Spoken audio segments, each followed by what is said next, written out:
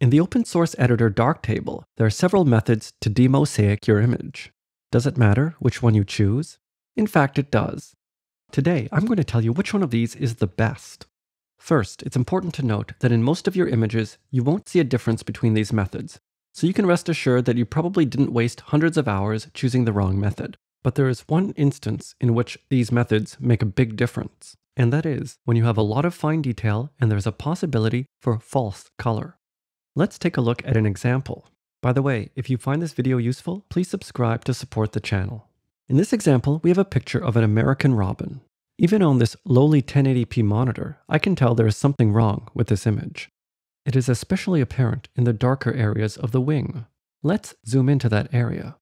You'll notice that there is quite a lot of false color. This color is not an inevitability, but rather an artifact of the demosaicing method.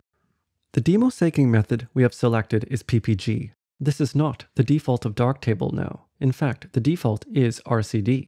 If we select RCD, we notice that the pattern improves a little bit, but it is still not very good.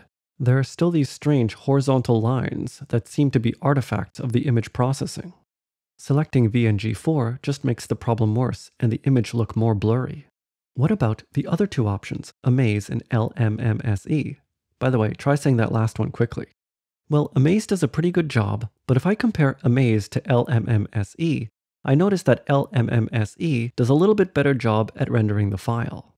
I won't go through all my testing because that could get quite boring. However, I've tested all these demosaicing methods on over a dozen images, and I've found that LMMSE does the best job with fine detail.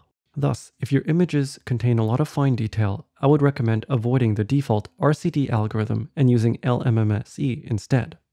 I hope you enjoyed this tip on using Darktable, and I'll see you again next time.